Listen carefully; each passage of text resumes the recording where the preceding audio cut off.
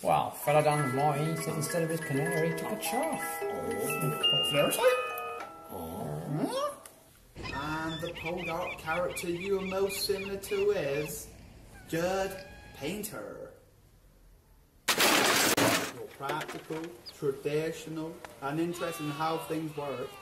You've excellent skills with mechanical things, and a bit of a risk taker who lives for the moment. You're loyal to your peers and their values. Whatever. You're not overly concerned with respecting laws, particularly if they get in the way of getting something done. You have a tendency to eat, drink, and be merry. Very, very merry.